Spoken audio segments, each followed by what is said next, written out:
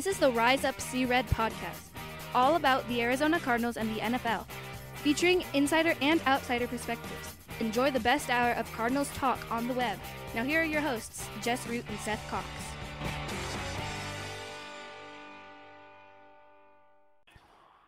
Hello, Arizona Cardinals fans, and welcome to the latest edition of the Rise Up See Red podcast, the best of Cardinals talk on the web.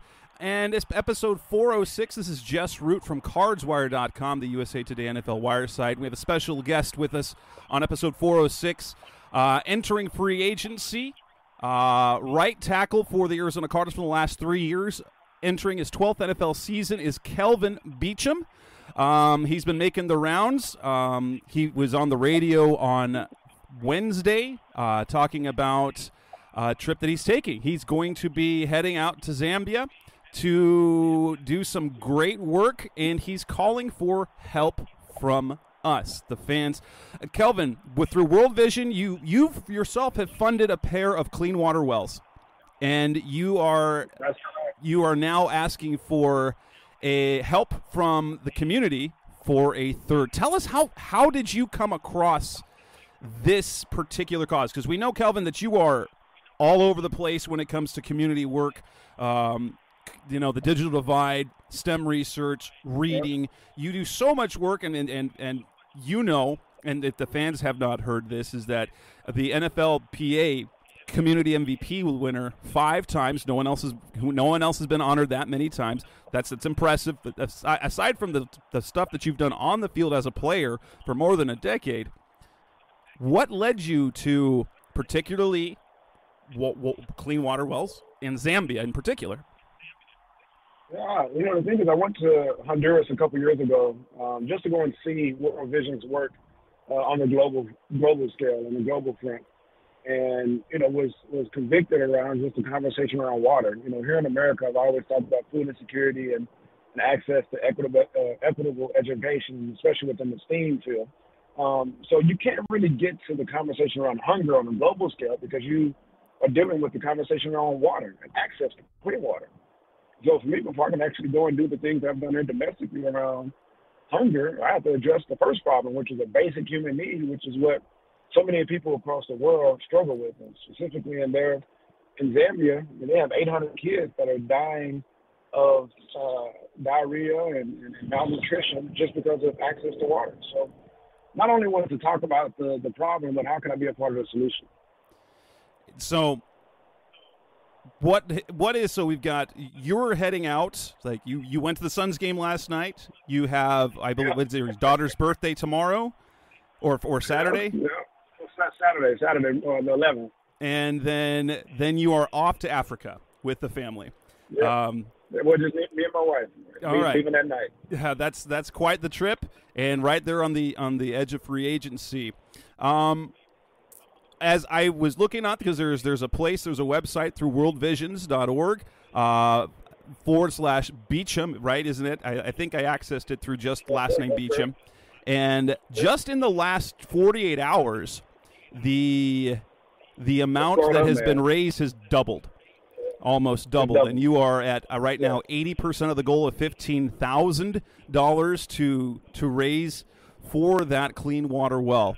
Um, what what inspired you? So, so you did the two on your own. What what is it this time? So, what's different this time about asking for the community help? Which is, by the way, a fantastic thing because a lot of us wouldn't know how to help with something like this unless we ran across it. And a lot of times, like TV ads or radio ads, we kind of ignore.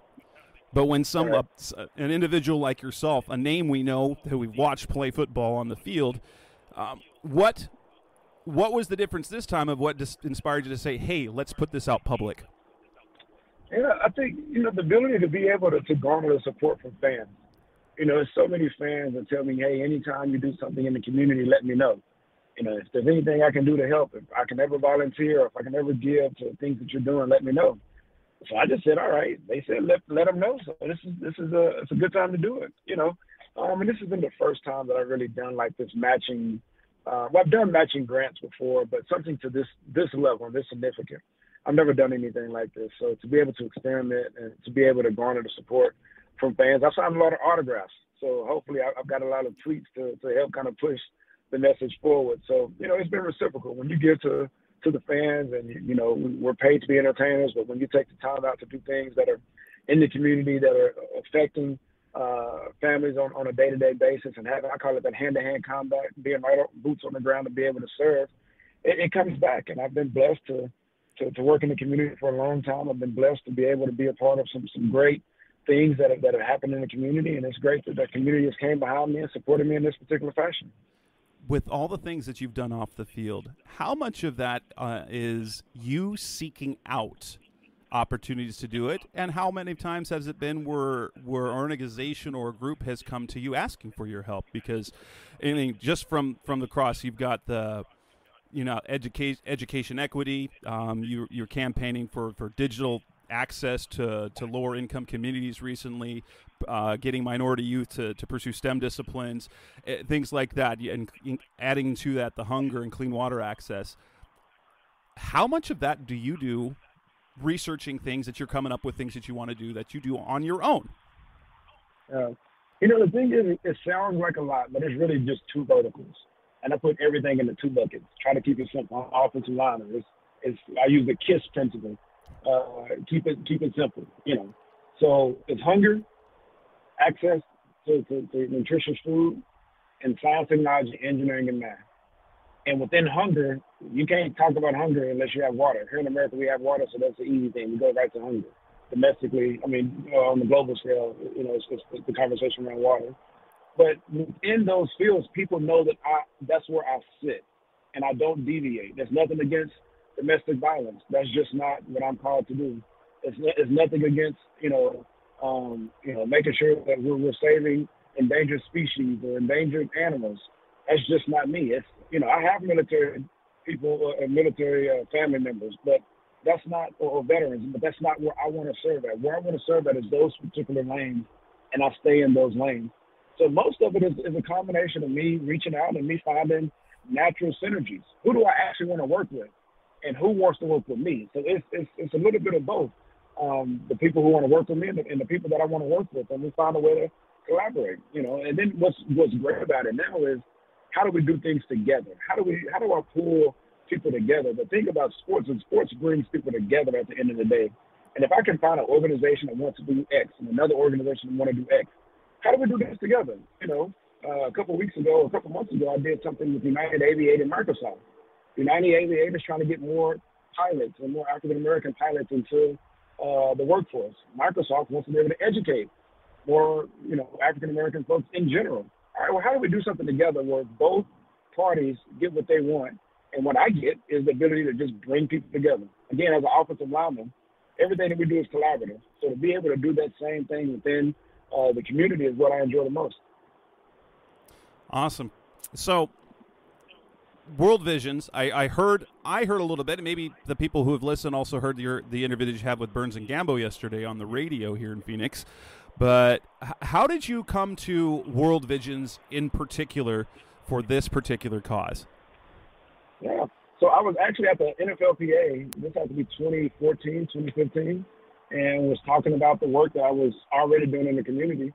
And I actually mentioned to this guy, Dexter Santos, um, who is kind of works on the Players Inc. side, which is the business side, uh, the, the, the, the profit generating side of the union. And just told him I wanted to do more globally And he was like, Kelvin, here's an organization called World Vision. Here's, you should go spend some time with them. So me and my wife actually went down to Nashville. Uh, they've done a lot with kind of country singers down in Nashville. So we went down to Nashville and got some insight on, into what they did and, and what they did on the global scale. Uh, a couple years later, we went to Honduras. Uh, the pandemic happened in 2020. We were supposed to actually go uh, uh, to the continent. We didn't know where, but we were supposed to go to the continent um, in 2020, but things got derailed with COVID. Um, and now we're here in 2023, finally being able to go back again. So it's been a journey since I would say like 2014, 2015, and having that conversation with some of the executives over at the NFLPA. So Kelvin Beachum's cause that he's doing right now, he's headed to Zambia to to and and needs our help to to fund that third clean water well. You can access that. You can help out by going to worldvision.org forward slash Beachum. If you can't remember that, you can go to kelvinbeachum.com. He's got a link there. You can go to his Twitter, Kelvin Beachum Jr. Uh, you can go to his Facebook, his Instagram, his LinkedIn, search Kelvin Beachum, social, something. You will find a link to that place, and you will find a link to be able to donate to the cause and get them there. They, as of as of Thursday afternoon, they are 80% of the goal. Coming up next on the Rise Up See Red podcast, the best of Cardinals talk on the web, we return and talk to Kelvin about free agency and the NFL. That's coming up next. Rise Up See Red. Now, Kelvin, can I ask you a little bit about some football, especially as you're hitting free Go agency? For it. Go for it. So, Yeah, go for it. I, I know you, you've probably answered a lot of these questions already. Um, free agency, you, you talked on the radio that you are, it feels like you are very open to what your next team is going to be. Free agency is a week away. You've done the work, and now you're waiting for the opportunity. Um, in terms of the Cardinals, do you? It, it sounds like that you're waiting to hit the market. Have there been talks of returning to Arizona for another season? We've been in conversation, um, but the thing is, is I'm I'm not in I'm not in the business of just playing one more year, and I still think that I have a lot of tread left on the tires. Um, and there's been conversations that have been had. I've talked with Monty, I've talked with JG, um, I've talked with the offensive line coach and the offensive line coach, and we already have some some commonalities. Um, but I want to continue playing football, and it would be ideal to play here and to stay here. But again, I also know the business. Um, you know, this is a new regime. This is new faces in the building. They want to be able to put their stamp of approval on things. I would love to be a part of the transition, but if that's not the case, I completely understand. And there's no hard feelings. The relationships will still stay intact. I'll still be able to talk to everybody uh, within uh, the building, just like I've done with every other team that I've ever played for and played with. My, you've played the last three seasons, which I, I would think it would be fair to say you've been playing under market value for someone of your caliber of player and, and, capability and status in the league. Um, it sounds like so. M- when you hit free agency, if you have some priority, you talked about wanting to play on grass uh, on the radio. Yes. It sounds like you want to play on grass. You want a ideally a multi-year deal, and to show that a team values you financially more than just a year-to-year deal. That is ideal. That is ideal. Again, ideal. That's that's idealistic. what actually happens when you actually get a piece of paper and somebody starts negotiating, that's completely different. But ideally, you know, want to be able to play on grass, want to be able to continue playing for a substantial amount of years, and I want to continue to prove my love to the game. Uh, I love this game. I love everything that comes with it, and I love the process. And I think when you you, you bundle those things together, uh, that put you in, in a position to be successful. You know, not only at this age, but successful in being able to teach the next generation how to do the same thing as well. Moving forward, are you- you're not quite at the point where you're thinking year to year? Do you have a do you have a, a a goal in mind for how much longer you want to play? Uh, I mean, if I can play another four or five years, man, I feel confident that, that I've done enough for the National Football League, and the National Football League has done enough for me. Uh, but until then, man, I have no, uh, there is no, there's not one fabric uh, of, of, of, of energy, not one iota that wants to say I'm, I'm ready to retire or ready to, to shut it down. And my family knows that, my wife knows that, my kids know that. Um, and it's, it's, it's a great place to be in when you still love the game even at this age and, and, and even at this point in my career. You, when you came here, um, you said at one point that Coach Kugler was probably the only guy who could have convinced you to move from left tackle to right tackle. Um, as you move forward, do you see yourself more right tackle now, or would you like to go back to the left side? Man, you know what's what's interesting, and I ended up having to play left tackle against the San Francisco 49ers this year. And uh, it, it, was crazy. It felt good. I'm like, I missed this. You know, you know how you, you haven't rode a bike in a long time, or you haven't been home in a long time. It just felt like old times. Um, but at the end of the day, man, you get in where you can where you can fit in, and I've, I've been blessed where I have the ability to play both um, and play both at a very high level. So if it's right tackle, it's right tackle. If it's left tackle, it's left tackle. Um, but for me, it's about being able to start, being able to contribute, um, and being able to find a way to win games, and being a part of an organization that really wants to win games and is putting things in place to do so. Looking back on this last season, what what an interesting year, uh, to say the least. Um, I know it. I don't want to deal with the detail, but how did it affect you in particular? You you had a relationship previously with Coach Kugler. um, which is one of the reasons why you ended up signing with the team. How was that as a player to have to adjust and to have that impact when he was dismissed late in the year without having we don't want to deal, deal with the, the, what happened but how did that impact you in the room it, it impacted me quite a bit you know? Um, you always want to think of the best in folks and which I, I still do. Um, you know it's, it's, it's interesting that there hasn't been any video that's come about with what's been you know accused and, and what's been said. Um, and it's just it's just wild. Right before a game, you know, the guy who brought you here is asked to leave, and you got to go play a football game on national television on Monday Night Football against one of the best defenses in the league. Man, it, it's just uh, it's just never easy, and you know, you just some of the stuff that happened this year, man, you just can't make it up. To be honest with you, and we had just a lot of things that happened this year, where, uh, well, last year, that uh, it just really made you scratch your head, man. I don't think you could have took this script to, to, to Hollywood and, and, and, they would have made a movie out of it because it just it just seemed unreal, to be honest with you. Well, yeah, that whole year only it, that's not that's not the type of movie you want to watch because that just got worse and worse and worse. It, it, was like something every single month, starting with the playoff loss yeah. last year. From that to what was said about Kyler before the Super Bowl to to the suspension to everything. Is that kind of what happened with late in the year? Was it just too much to overcome, and then things just it felt like you guys never could get it was sliding, and you never could get tra- traction again. Well, we, we never could. To me, you know, I said this this morning on the radio show. We never could execute like we needed to.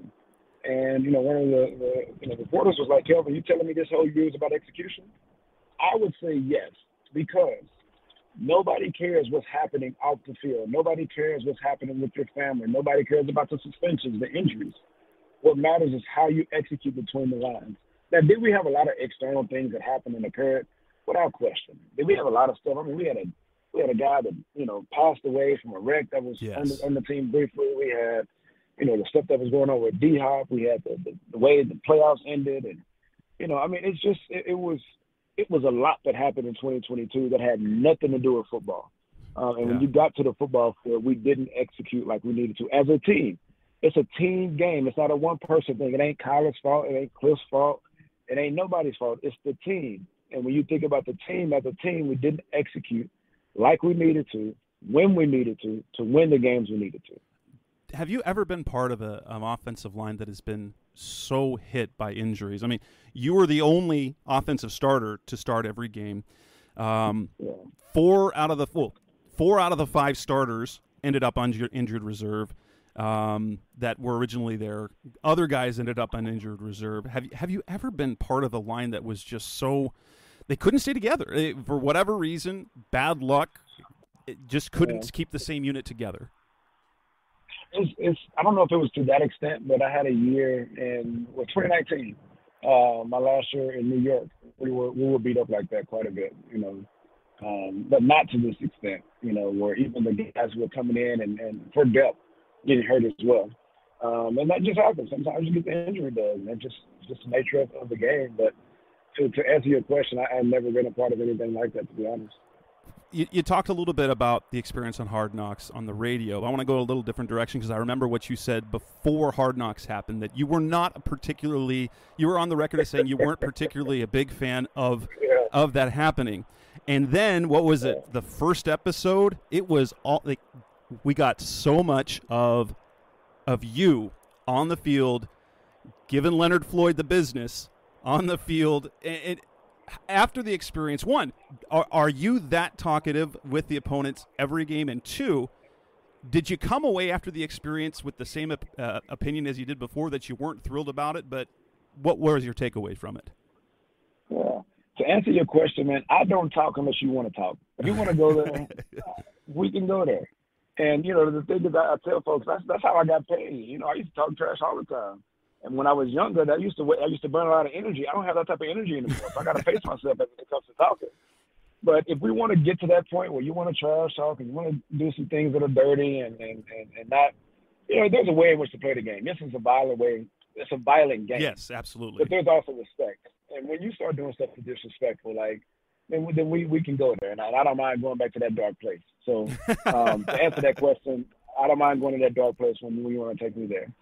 Regarding my comments, man, the thing is, is it's, it's something about a locker room and an offensive line room that are just sacred. You know, uh, there's just things that happen in the building that the normal people wouldn't understand. People outside the building wouldn't understand the way in which we talk to each other, the way in which we talk, the way in which we joke, the way in which we, you know, push on one another, encourage one another. Like that stuff is sacred. Those, those relationships and those bonds and those conversations, the conversations and laughs and jokes that we're gonna have when we're 60 and 70 years old. You know? How, how many people have asked think, you about popcorn? well, to be honest with you, let me plug this right now.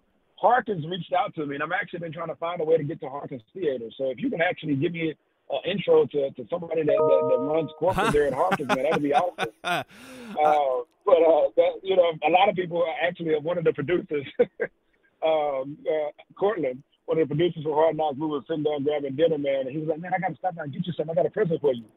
he shows us over two bags of popcorn. is is uh, one thing that I thought was impressive is when when JG was introduced as head coach. Among the players that were there, you were there. A guy who's not under contract for 2023. Why was it important for you to be at that introductory press conference, even though you didn't know what your status of the future of the t- team is? Well, the thing is, I'm actually still employed until they stop paying me. I mean, yes, that, that's yet. true. So, you, you so are t- technically, t- technically I, I, under contract till right. next week. but the way that I think about it, man, it's all about relationships. You never know um, what opportunities present themselves when you're willing to meet people where they are. Um, I didn't know JG. I didn't know Monty. I didn't know the offensive line coach. Like I, I didn't, I, Mr. Adams, Coach Adams. I didn't know any of them. But I'm willing to go and reach out and, and, and say hello, introduce myself. And I don't know what's going to happen, but who's to say five years down the road I'm still playing and and and you know somebody on that staff. I remember when Kelvin came up and, and met me at the press conference. Like you just never know how first impressions and how far first impressions will go. Um, so I don't really put much stock into, you know, is that the right thing to do or wrong thing to do? It's, I feel that it's it's about the relationship, and in the game of football, the world is very, very small, very small. So you just never know who's going to be coaching where, who's going to be the OC, who's going to be the offensive line coach, who's going to be the GM, who's going to be the, you know, the head of, of pro personnel. You never know. So it's it's great to be nice to everybody and great to at least know uh, the people that are decision makers and the people that are, you know, controlling, you know, who gets on the field, who gets on the roster, uh, who has those, who has that decision making power. And JG and Monty have decision making power. Mr. Bidwell has decision making power. Um, it's great to make sure that you have somewhat of a personal relationship with those folks. And again, I have that relationship with, at every organization that I've ever played at. Pittsburgh, Jacksonville, New York, and Arizona. And, and those relationships, you just never know where those relationships are and where things end up. Coming up next on the Rise Up See Red podcast, the best hour of Cardinals talk on the web. One final s- slot with Kelvin Beachum talking about two things the young players on the offensive line, and what he said about Kyler Murray on the radio. That's coming up next on Rise Up See Red. Two questions. One is about uh, the young guys in the offensive line room. I had the opportunity to talk to Lecitus Smith uh, a couple of weeks ago. There's some young guys: Josh Jones, Lecitus, Marquis Hayes, who we didn't hear from because he was on injured reserve. What what did you see from the young guys? last year. I guess Josh is almost not a young guy anymore because he's hitting year four. Yeah, he, he, he, I can't call him a rookie anymore. I can't I can't make him do things anymore. So he's not a, he's not a young guy anymore.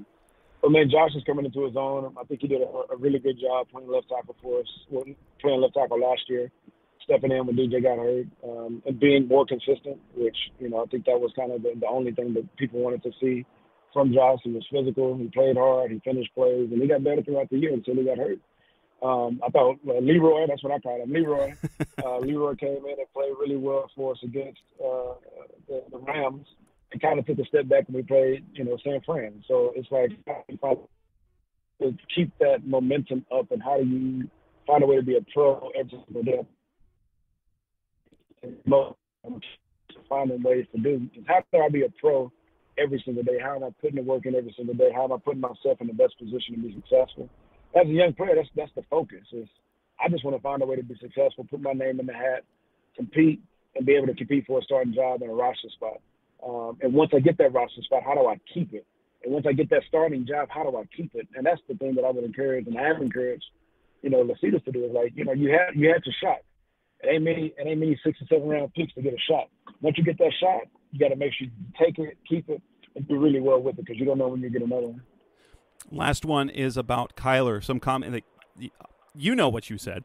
Um, Yeah, we know how it's going to come across on the internet when when you say the quote, "What does Kyler need to Yeah. do to take the next step? Grow up, be a man, grow up." That comes across really harsh. Is it as was it intended as harsh as it was? Because one pe- person can take it, "Oh, Kyler is immature," or two, Kyler still has maturing to do, even though he's made progress. Well, what's what's interesting is you just see that headline um, of grow up, but nobody actually looks at the, the actual piece of what I said. I said it's not a completed process. Correct. I didn't did. say he lacks leadership. I said he just needs to grow up a little bit. I think he has the ability, the ability and the willingness to grow up. And if he does that, he will be just fine. They paid him for a reason. All I'm asking and all I want to see is him lead more in every capacity. That whole quote isn't talked about. Everyone's just like, all right, he needs to grow up. Beachum said he needs to grow up. I, said, I said he needed to mature last year. I like- I That- that said you, you absolutely did, officer. maturing. Susan. I did, did I not? I said he's I said he's maturing and he is starting to mature. This year, I said he needs to grow up. Meaning, all I'm doing is using different language. He's maturing. He's maturing. he's getting better. He needs to grow up. The same thing that you would say to your child. Hey, you're 10. Hey, you can't do the things that you were doing when you were five. Hey, you're 15. Hey, you can't do the things that you were doing when you were 10. Hey, you're 18. Grow up. Like, Absolutely, I, I completely agree with the notion. Um, we've seen we've seen great things from Kyler. Uh, obviously, I know one thing that that he struggles with is losing, and I know that's something that as a as a everybody teammate, does. everyone does. Everybody does. and Yeah. uh, he can obviously handle adversity better. And that maybe that's one thing that teammates would gravitate towards when they see him not down but encouraging which i've seen much more of him do in the last year than previous years. So i've seen growth.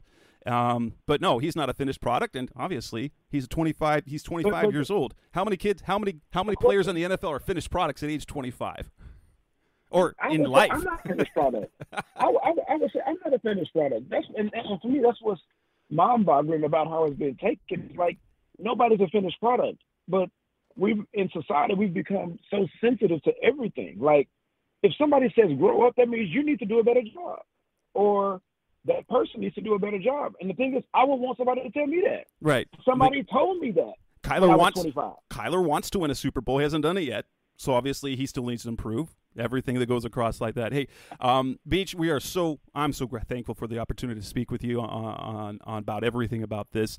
Uh, we appreciate that you won that the the the Pro Football Writers of America, our chapter here in Arizona, the Good Guy Award. I hate the name of it. Uh, there's a bunch of good guys in that locker room, but for for the willingness to talk to guys like us, to talk about tough conversations and tough topics like this, and to do it with the candor with which you do it, we all appreciate it. Whether it's the day to day beat writers, I'm a I, I do this on the side and in the locker room during games, and so Kelvin, I, I greatly appreciate the time and the and the honesty with which you you speak to everyone. Yes, sir. Anytime. Thanks so much. I really All right. appreciate it. Then again, that's Kelvin Beachum. Go to worldvision.org forward slash Beachum. Help him build that third dig, that third uh, clean water well as he takes his trip to Zambia. Kelvin, thank you for your time. Appreciate it so much. That wraps up this edition of the Rise Up Senior Red podcast. That's been Kelvin Beachum. Again, go to kelvinbeachum.com. Go to worldvision.org forward slash Beachum. Donate to that cause as he heads out to Africa this weekend. Um, this show we dropped earlier than we anticipated uh, because of the time sensitive nature of what Beachum's doing. Um, this would have been episode 407, and then the draft combine, our, our combine shown with Justin Higdon would have been 406. That will drop on Friday. So, this on the show, I said episode 406 on the draft show, and this is 406. So don't don't mind that. It's all right. But I'm Jess Root. This is the Rise Up See Red podcast. We'll be back again with the combine episode in a few days, and talking free agency with Seth Cox next week. Thanks for listening. Thanks for listening to the latest edition of the Rise Up See Red podcast. Listen to previous episodes and subscribe to the show on Apple Podcasts, Stitcher Radio, Audioboom, or many other podcast platforms so shows are delivered directly to your mobile device. Please give the show a five star rating and always support the sponsors who support the show. We'll be back soon for the best hour of Cardinals talk on the web. Rise up, Red Sea, be Red Sea Red, and of course, Rise up, See Red.